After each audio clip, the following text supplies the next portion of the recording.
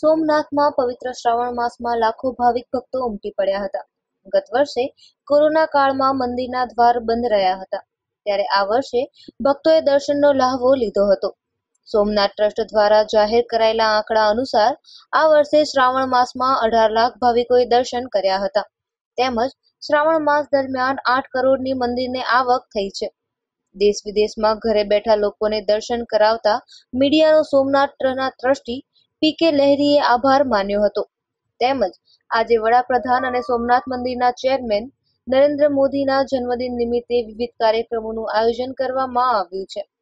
પવિત્ર શ્રાવણ માસ દરમિયાન દૂર દૂરથી અને દેશ વિદેશથી અઢાર લાખ કરતા વધારે લોકોએ દર્શન કર્યા છે. તેમજ ટ્રસ્ટને આઠ કરોડની આવક નોંધાઈ છે. વધુમાં પી કે લહેરીએ જણાવ્યું કે સોમનાથ મંદિર પ્રથમ વખત પાંચ મહિના માટે કોરોના કાળ દરમિયાન સરકારની સૂચના મુજબ બંધ રાખવામાં આવ્યું હતું. પરંતુ મંદિર ખુલતા જ અને શ્રાવણ માસ શરૂ થતા ભાવિકોનો ઘસારો જોવા મળ્યો હતો.